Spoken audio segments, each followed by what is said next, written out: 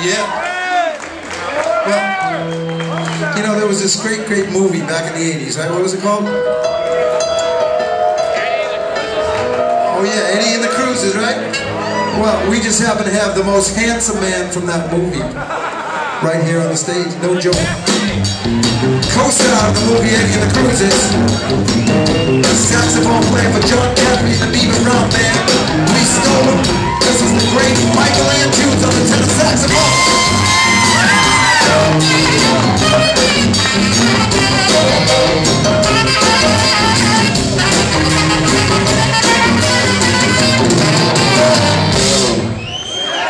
Yeah, Tunes. All right. Well, you might remember that did some pretty good business in these parts. Maybe some pretty good business all over the world, in fact. The band was called Boston, right? We happen to have the original guitarist, lead guitarist, former member of the band Boston, on the two albums, first two records, Mr. Barry on the guitar.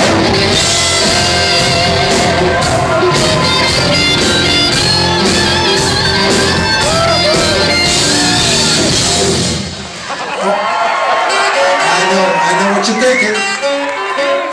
Why don't you guys do the whole song? Well, last time, last time we did, we got arrested, and you guys weren't there to bail us out like you said you would be. Every time you say play it, play it anyway, but 17 notes is all we can do, right, Tunes? And then the alarm goes off. As if it wasn't enough to have one guy from that band, one original member of the band. We happen to have. Do you remember the big, the big afro? The big furry vest.